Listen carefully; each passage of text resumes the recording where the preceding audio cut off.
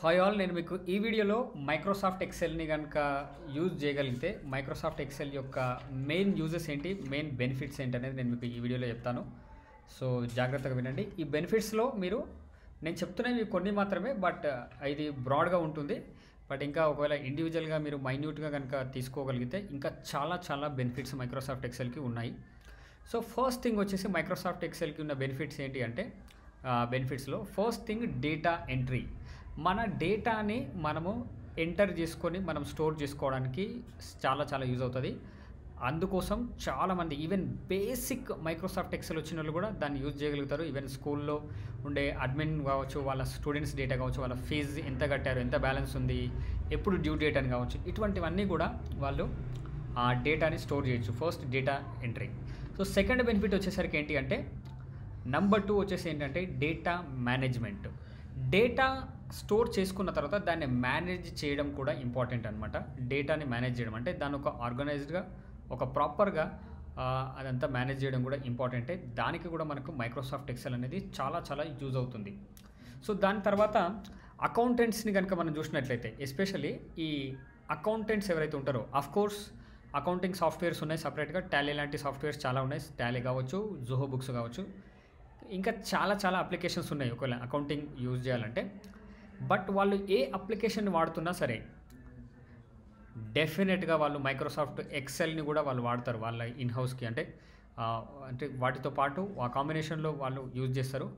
Accounting కోసం కూడా వాడతారు. ఈవెన్ నేను కూడా నా ఆర్గనైజేషన్కి నేను మైక్రోసాఫ్ట్ ఎక్సెల్ని అకౌంటింగ్ కోసం వాడుతుంటాను. కొంత దా దాంతోపాటు ఇంకా నేను వేరే అకౌంటింగ్ సాఫ్ట్వేర్ కూడా వాడుతున్నా. బట్ మైక్రోసాఫ్ట్ ఎక్సెల్ కూడా చాలా చాలా యూజ్ అవుతుంది అనమాట సో దాని తర్వాత నేను ఫోర్త్ పాయింట్ కనుక వచ్చి వచ్చినట్లయితే ఎక్సెల్ యొక్క బెనిఫిట్స్లో ఫైనాన్షియల్ అనాలిసిస్ కూడా చేయొచ్చు అనమాట అంటే అక్కడ ఉన్న డేటా ఉంది. ఆ డేటాని అనలైజ్ చేయొచ్చు ఫైనాన్షియల్ డేటాని అసలు ఫైనాన్షియల్ డేటాని ఎట్లా అనలైజ్ చేస్తాం అని మీరు అనుకోవచ్చు ఓకే అక్కడ ఉన్న డేటాని అనలైజ్ చేయాలి అంటే ఫైనాన్షియల్కి సంబంధించిన ఫార్ములాస్ చాలా ఉంటాయి అన్నమాట మనకి. ఈవెన్ మీరు ఫార్ములాస్ కనుక వచ్చినట్లయితే అందులో మీరు ఫైనాన్షియల్ కేటగిరీ ఫార్ములాసే ఇగో చాలా ఉన్నాయి. ఇవంతా ఇదంతా కూడా మీకు చాలా యూజ్ అవుతుంది. నేను మీకు ఈ వీడియోలో అఫ్ కోర్స్ ఇది చెప్పడానికి టైం కాదు బట్ నేను ఒక శాంపుల్గా మీకు ఒక కొంచెం చిన్నగా చెప్తా ఓకేనే? ఎన్పివి అని ఒకటి ఉంటుంది. ఎన్పివి అంటే net present value at a time ఒకేసారి ఒకవేళ ఒకవేళ మీకు కనుక రెండు ప్రాజెక్టులు వచ్చాయి అనుకోండి మీరు ఒకే ప్రాజెక్టు తీసుకోగలరు. అందులో ఏ ప్రాజెక్టు తీసుకుంటే మీకు బెనిఫిట్ అనేది మీరు క్యాలిక్యులేట్ చేయాలి అంటే అది ఫైనాన్షియల్ అనాలిసిస్ చేస్తేనే దొరుకుతుంది. ఆ అనాలిసిస్ చేయాలంటే ఇగో ఎన్పివి లాంటి నెట్ ప్రజెంట్ వాల్యూ ఐఆర్ఆర్ అని కూడా ఉంటుంది. ఈ రెండు కాంబినేషన్లో చేస్తారు. సో ఇటువంటివి అనమాట సో ఇటువంటివన్నీ ఫైనాన్షియల్ అనాలిసిస్ చేయడానికి కూడా మైక్రోసాఫ్ట్ ఎక్సెల్ అనేది చాలా చాలా యూజ్ అవుతుంది. దాని తర్వాత ఫిఫ్త్ పాయింట్ కనుక మనం చూసినట్లయితే coming to the fifth point మీకు ఎక్సెల్ ఇంకా బెనిఫిట్ అంటే చార్టింగ్ అండ్ గ్రాఫింగ్ గ్రాఫింగ్ కూడా. అంటే చార్ట్స్ని ప్రిపేర్ చేయొచ్చు. అంటే ఉన్న డేటాని మీరు ఇక్కడ చూస్తున్నారు కదా ఈ ఇమేజ్లోనే చార్ట్ బార్ చార్ట్ కావచ్చు పై చార్ట్ కావచ్చు ఉంది. ఇదేంటి అంటే ఉన్న డేటాని విజువల్గా రిప్రజెంట్ రిప్రజెంట్ చేయడానికి చాలా చాలా యూజ్ అవుతుంది. అఫ్ కోర్స్ ఇది ఓన్లీ డేటా రిపోర్టింగ్ టూల్స్ చాలా ఉన్నాయి. అందులో మన టాప్ టూ టూల్స్లో కనుక మనం చూసినట్లయితే పవర్ బీఐ ఏదైతే ఉందో పవర్ బిజినెస్ ఇంటెలిజెన్స్ ఏదైతే ఉందో అది మైక్రోసాఫ్ట్కు సంబంధించిన టూలే అది ఇంకా అడ్వాన్స్డ్ డేటా విజువలైజేషన్ ఉంటాయి. దాంతోపాటు ట్యాబ్లో టూల్ కూడా ఉంది. అది కూడా డేటా విజువలైజేషన్కి వాడతారు. అది అవి సపరేట్గా నేర్చుకుంటారు. ఓన్లీ రిపోర్టింగ్ టూల్స్లో కనుక నేర్చుకోవాలనుకుంటే ఎస్పెషలీ లైక్ డేటా సైంటిస్ట్లో కావచ్చు డేటా అనలిస్ట్లో ఐ థింక్ అది ఆ సాఫ్ట్వేర్స్ రెండు నేర్చుకుంటారని నేను అనుకుంటున్నా. కాకపోతే ఆ సాఫ్ట్వేర్స్ మాకు ఎంబీఏ కాలేజ్లో మాకు నేర్పించారు కాబట్టి నాకు కొంత అవగాహన ఉంది వాటిపై. సో అంటే ఇది అంత లెవెల్ కాదు కానీ ఒక బేసిక్ లెవెల్ అంటే డేటాని విజువల్గా రిప్రజెంట్ చేయడానికి మైక్రోసాఫ్ట్ ఎక్సెల్ చాలా చాలా యూజ్ అవుతుంది. గ్రాఫ్స్ క్రియేట్ చేయడం కావచ్చు చార్ట్స్ని కానీ క్రియేట్ చేయడం కావచ్చు. దాని తర్వాత సిక్స్త్ పాయింట్ని కనుక మనకు వచ్చినట్లయితే టాస్క్స్ని మేనేజ్ చేయడానికి యూజ్ అవుతుంది. టాస్క్స్ అంటే లెట్స్ ఇప్పుడు ఫర్ ఎగ్జాంపుల్ ఒక పది పనులు చెప్పినాం మీకు. అవన్నీ మేనేజ్ చేసుకోవాలంటే ఇందులో కనుక ఆ పది పనులను కూడా మనం టాస్క్లను వేసుకొని వాటిని ప్రాపర్గా మేనేజ్ చేయడానికి అవుతుంది. ప్రస్తుతం ఉన్న క్లౌడ్ వల్ల ఈవెన్ మనం కొలాబరేటివ్గా కూడా మనం ఇంకా వర్క్ చేసుకోవచ్చు టాస్క్ మేనేజ్మెంట్లో. సో దాని తర్వాత మనం మైక్రోసాఫ్ట్ ఎక్సెల్లో కనుక చూసినట్లయితే క్యాల్కులేషన్స్ ఉంటాయి. క్యాల్కులేషన్స్ కూడా మనం ఇంకా ఈజీగా ఫాస్ట్గా చేసుకోవచ్చు. దాని ఏముందని దానికి క్యాల్కులేటర్ ఉంటుంది కదా అనుకుంటారు కానీ క్యాల్కులేటర్ చేయలేని ఎన్నో కాంప్లెక్స్ వర్క్స్ ఇది చేయగలుగుతుంది అనమాట మైక్రోసాఫ్ట్ ఎక్సెల్. సో క్యాలిక్యులేటర్ సరిపోదు ఫ్రెండ్స్ ఇది ఇది చాలా చేయగలుగుతాను అనమాట Microsoft Excel advanced calculations let's say ఇక్కడ మీరు ఒకవేళ సేల్స్ పర్సన్స్ యొక్క రిపోర్టింగ్ నే సేల్స్ పర్సన్స్ యొక్క నేమ్ ఉంది. సేల్ అయిన ప్రతిసారి వాళ్ళ సేల్ సేల్స్ పర్సన్ నేమ్ వచ్చింది. వాళ్ళ సేల్ వాల్యూ ఇక్కడ ఉందనుకోండి. ఇక్కడ సేల్స్ వాళ్ళే పది మంది అనుకోండి. ఒక వెయ్యి వెయ్యి రోస్ ఉన్నాయనుకుందాం పర్టికులర్లీ ఒక సేల్స్ పర్సన్ సేల్సే మీరు క్యాలిక్యులేట్ చేయాలంటే ఎలా చేస్తారు? ఇక్కడ భాస్కర్ అనుకుంది ఎగ్జాంపుల్ భాస్కర్ సేల్ ఒక థౌజండ్ వచ్చింది ఇంకో భాస్కర్ టూ థౌజండ్ వచ్చింది. ఇట్లా మాన్యువల్గా క్యాలిక్యులేట్ చేయమన్నమాట.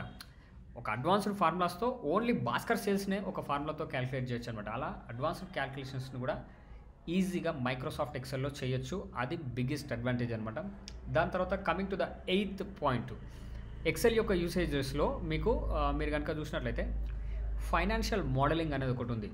అసలు ఏంటి ఫైనాన్షియల్ మోడలింగ్ అంటే ఎంబీఏలో కనుక మీరు కనుక ఫైనాన్స్ కనుక తీసుకున్న వాళ్ళు ఉంటే దీనిపైన కొంత ఐడియా ఉండే ఉంటుంది. అసలు ఈ ఫైనాన్షియల్ మోడలింగ్ అంటే ఏంటో నేను కొంత బేసిక్గా చెప్తా. ఈ ఫైనాన్షియల్ మోడలింగ్ అంటే ఏంటి అంటే కంపెనీ యొక్క అకౌంట్స్ ఏదైతే ఉంటుందో అకౌంట్స్ కావచ్చు లేకపోతే ప్రీవియస్ సేల్స్ డేటా కావచ్చు ఇవి కొన్ని రేషియోస్ కూడా ఉంటాయి వీళ్ళకి. కొన్ని ఎబిటా అని కానీ మీరు చూస్తున్నారు కదా EBITDA earning before tax something ఇలా ఉంటాయి. ఎబిట్ కానీ ఎబిటా. ఈ డేటాను అన్నిటిని బట్టి వీళ్ళు ఫోర్కాస్ట్ చేస్తారు వీళ్ళు ఓకే హిస్టారికల్ పర్ఫార్మెన్స్ని బట్టి కొన్ని అజంప్షన్స్ తీసుకొని అన్ని బ్యాలెన్స్ షీట్ కావచ్చు క్యాష్ ఫ్లో స్టేట్మెంట్ అదంతా తీసుకొని వీళ్ళు కొన్ని ఫైనాన్షియల్ మోడలింగ్స్ కొన్ని చేస్తారు. అంటే నెక్స్ట్ ఇయర్ మనకి సేల్స్ ఎంత రాబోతున్నాయి? Q one Q two Q three Q four కావచ్చు ఇటు ఇటువంటివన్నీ కూడా మీరు తెలుసుకోవచ్చు అనమాట అంటే అంటే ఫినాన్షియల్ మోడలింగ్ చేస్తేనే అది దొరుకుతుంది అనమాట ఆ ఫినాన్షియల్ మోడలింగ్ మైక్రోసాఫ్ట్ ఎక్సెల్లో చేయొచ్చు. ఇది ఎవరు చేస్తే కరెక్ట్ అంటే ఎంబీఏలో ఫినాన్స్ చేసిన వాళ్ళు ఆ ఫైనాన్స్ నాలెడ్జ్ ఉన్న వాళ్ళు మాత్రమే చేయగలుగుతారు.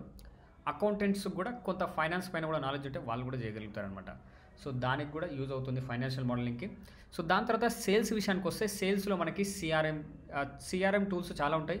Customer relationship management so tools వాడని చాలామంది అంటే టూల్స్ దాకా వెళ్ళలేని చాలామంది చిన్న చిన్న బిజినెస్ ఓనర్స్ కావచ్చు ఇండివిజువల్స్ కావచ్చు వాళ్ళందరూ హ్యాండిలింగ్ చేస్తున్నది మైక్రోసాఫ్ట్ ఎక్సెల్ ద్వారానే చేస్తున్నారు చాలామంది. సో కాబట్టి కస్టమర్ రిలేషన్షిప్ మేనేజ్మెంట్కి కూడా ఇది యూజ్ చేసుకోవచ్చు. That is the ninth advantage of having Microsoft Excel so దాని తర్వాత టెన్త్ పాయింట్ కనుక వచ్చినట్లయితే ఇక్కడ ఏంటి అడ్వాంటేజ్ అంటే ఒక చి- నేను చెప్పిన ఈ పాయింట్స్ అనే కాదు.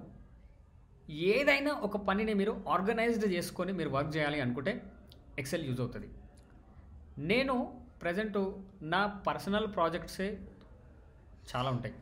మళ్ళీ క్లయింట్ ప్రాజెక్ట్స్ ఇన్ని వర్క్స్ ఎలా మేనేజ్ చేస్తున్నావు అని కనుక నన్ను కనుక అడిగితే ఒకే ఒక రీజన్ చెప్తా అది మైక్రోసాఫ్ట్ ఎక్సెల్ మైక్రోసాఫ్ట్ ఎక్సెల్ ద్వారా ప్రతి పనిని ఆర్గనైజ్డ్గా పెట్టేసి ఇలా ఇలా స్టెప్ బై స్టెప్గా చేయాలని ఏ వర్క్నైనా ఇవ్వండి నేను.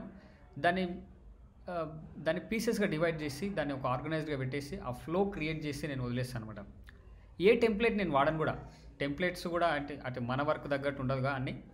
సో నేను అట్లా కస్టమైజ్గా నేను తయారు చేసుకొని నేను వర్క్ ఫ్లోని ముందుకు తీసుకెళ్తుంటాను అనమాట ఎనీథింగ్ ఓకే మీరు ఇది దేనైనా ఆర్గనైజ్ చేయాలంటే దాన్ని ఆర్గనైజ్ చేసుకోవచ్చు మైక్రోసాఫ్ట్ ఎక్సెల్ ద్వారా. లెవెన్త్ బెనిఫిట్ కనుక వచ్చినట్లయితే మనకి ఇంతకుముందు ఫైనాన్షియల్ మోడలింగ్లో నేను ఫోర్కాస్టింగ్ అని చెప్పాను కదా అంటే రాబో సేల్స్ ఏంటి అనేది. ఇదేదో అంటే హిస్టారికల్ పర్ఫార్మెన్స్ని బట్టే వీళ్ళు వీళ్ళు క్యాలిక్యులేట్ చేస్తారు కానీ ఏదో గుడ్డిగా వీళ్ళు తీసుకోరనమాట అజంప్షన్స్ కూడా అది లాజికల్గా తీసుకుంటారని గుర్తుపెట్టుకోవాలి. సో ఫోర్కాస్టింగ్ కూడా ఇది పాసిబుల్ అనమాట ఫోర్కాస్టింగ్కి కూడా యూజ్ అవుతుంది. ఫోర్కాస్టింగ్ అంటే ఏంటి అంటే ఉన్న డేటాని బట్టి ఏమవ్వచ్చు ఫ్యూచర్లో అటువంటిది అనమాట ఈవెన్ వెదర్ రిపోర్ట్ ఏదైతే మీరు చూస్తున్నారో మనం అది ఫోర్కాస్టింగే అనమాట ఫోర్కాస్టింగే ఫోర్కాస్టింగ్ కాకుండా బ్రాడ్కాస్టింగ్ గురించి చెప్తా మీకు. ఇది సందర్భం కాదు కానీ బ్రాడ్కాస్టింగ్ అంటే అందరు చూడాలనుకుంటే బ్రాడ్కాస్టింగ్ చేస్తారు టీవీ ఛానల్స్ వాళ్ళు. ఫోర్కాస్టింగ్ అంటే జరగబోయేది చెప్పేవాళ్ళు అనమాట జరగబోయేది చెప్పేవాళ్ళంటే ఇది విత్ డేటా అనమాట దాన్ని ఫోర్కాస్టింగ్ అంటాం. ఇది డేటాను తీసుకొని ఫోర్కాస్టింగ్ చేసుకోవచ్చు.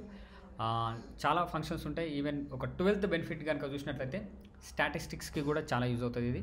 ఒకవేళ స్టాటిస్టిక్స్లో బేసిక్గా మెయిన్ కావచ్చు మోడ్ కావచ్చు స్టాండర్డ్ డివియేషన్ కావచ్చు ఇటువంటివన్నీ చేయాలి అంటే డెఫినెట్గా మీకు మనకి మైక్రోసాఫ్ట్ ఎక్సెల్ అనేది చాలా యూజ్ అవుతుంది.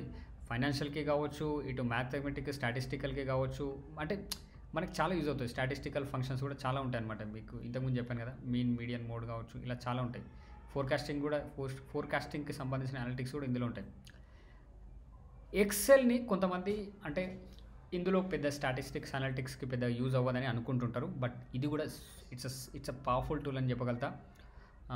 సో నాతో పాటు నాకంటే ఇంకా బెటర్గా తెలిసిన ఎక్సెల్ ఫ్రెండ్సే ఉన్నారు క్లోజ్ ఫ్రెండ్స్ కాబట్టి వాళ్ళ ద్వారా నేను ఎప్పటికప్పుడు అప్డేట్స్ తీసుకుంటుంటా సో నేను కూడా ఎక్సెల్ వాడతాను కాబట్టి నాకు ఇవన్నీ బెనిఫిట్స్ తెలుసు. సో నేను ఈ వీడియోలో మీకు ట్వెల్వ్ బెనిఫిట్స్ ఇచ్చాను నేను మీకు ఓకే? సో ఈ ట్వెల్వ్ బెనిఫిట్స్ని బట్టి మనకు ఎక్సెల్ ప్రతి మీకు ఇంకొక వండర్ చూపిస్తాను. బెనిఫిట్స్ ఆఫ్ యూజింగ్ ఎక్సెల్ అన్ని టైప్ చేస్తా. Benefits of using Excel for అన్ని టైప్ చేస్తుంటే చూడండి. డేటా అనాలిసిస్కి స్టూడెంట్ స్టూడెంట్స్కి బెనిఫిట్స్ ఏంటి? నర్సింగ్కి వాళ్ళకి బెనిఫిట్స్ ఏంటి? బిజినెస్ వాళ్ళకి ఏంటి హెల్త్ కేర్ వాళ్ళకి ఏంటి అకౌంటెంట్కి బెనిఫిట్స్ ఏంటి? సివిల్ ఇంజనీరింగ్ వాళ్ళ సివిల్ ఇంజనీరింగ్ వాళ్ళకి ఎక్సెల్ బెనిఫిట్స్ ఏంటి?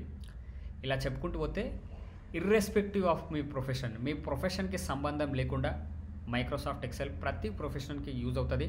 సో అందుకోసమే డిజిటల్ బడీ ద్వారా మీకు త్వరలోనే మైక్రోసాఫ్ట్ అడ్వాన్స్డ్ ఎక్సెల్ కోర్స్ మేము మీకు ముందుకు తీసుకురాబోతున్నాం. ఎస్పెషల్లీ డిజిటల్ మార్కెటర్స్ ఎవరైతే ఈ వీడియో చూస్తున్నారో ఎక్సెల్ని డిజిటల్ మార్కెటింగ్ కాంటెక్స్లో ఎలా యూజ్ చేయొచ్చు? ఎస్సీఓకి గూగుల్ యాడ్స్కి అనేది మేము తీసుకురాబోతున్నాం. డు నాట్ మిట్ దట్ అంటే ఈ టూ కోర్సెస్ని మిస్ చేసుకోవద్దు. Advanced Excel for everyone అనమాట ఎవరైనా జాయిన్ అయ్యి నేర్చుకోవచ్చు. సో ఎక్సెల్ అనేది చాలా చాలా ఇంపార్టెంట్ కోడ్ స్కిల్ ఒకవేళ మీరు బిగినింగ్గా ఉండి ఎక్సెల్ నేర్చుకోవడానికి వెళ్తే ఎక్సెల్ పైన ఎక్కువ ప్రిఫరెన్స్ ఇవ్వండి. వర్డ్ పవర్ పాయింట్ కూడా ఇంపార్టెంటే కానీ వాటికంటే ఎక్సెల్ కనుక మీరు నేర్చుకోగలిగితే మీరు నంబర్స్లో నంబర్ వన్ అవుతారు. ఆ నంబర్స్లో బెస్ట్ ఉన్నారంటే మీరు మీ మేనేజింగ్ కూడా అవన్నీ బెటర్గా చేసుకోవడానికి ఉంటుంది. So thank you so much for watching these videos ఇలాంటి వీడియోస్ కోసం ఛానల్ని సబ్స్క్రైబ్ చేసుకోండి.